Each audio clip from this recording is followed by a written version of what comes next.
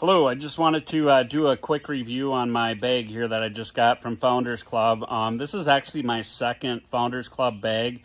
I purchased uh, this same bag um, last May and have absolutely loved the bag. I love this top compartment here that uh, really protects all of my, my clubs. I used to keep my clubs um, with a protective shield on them and had to take them off and I would end up losing them here and there. And so I don't have to do that with this, um, this bag. But uh, anyway, I had uh, last week, um, I had one of these uh, bags, the seam had busted open on me.